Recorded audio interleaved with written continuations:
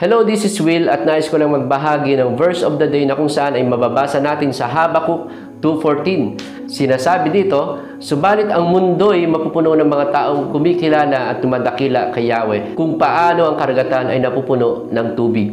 Napakainam na mangyari ito na ang mga tao ay kumilala, dumakila sa Diyos na may likha ng langit at ng lupa. At napakainam din na maging bahagi tayo sa gawain ito ng Panginoon sa pamamagitan ng pagpapagamit ng ating buhay sa pagbahagi ng salita ng Diyos. Lalo na sa panahon ngayon, napakalawak ng pamamaraan upang makarating ang salita ng Diyos sa mga tao. Kaya opportunity natin na mabahagi ang salita ng Diyos dito sa social media. Ngunit ang tanong, paano nga ba makikilala ng mga tao ang Diyos na may likha ng langit at ng lupa?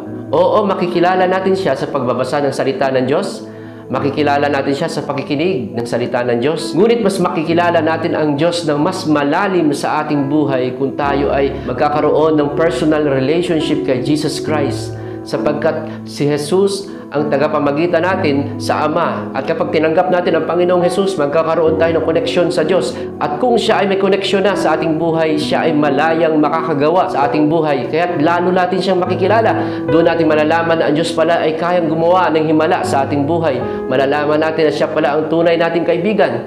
Siya pala ang ating Ama at tayo ay kanyang mga anak. Malalaman natin na siya ang ating tagapagpagaling. Malalaman natin na siya ang ating provider. Malalaman natin na siya ang magbibigay sa atin ng proteksyon hindi lang sa ating sarili, kundi sa lahat ng mga mahalaga sa ating buhay. Makikilala din natin siya na siya ang magbibigay sa atin ng kapayapaan. Siya ang ating pag-asa.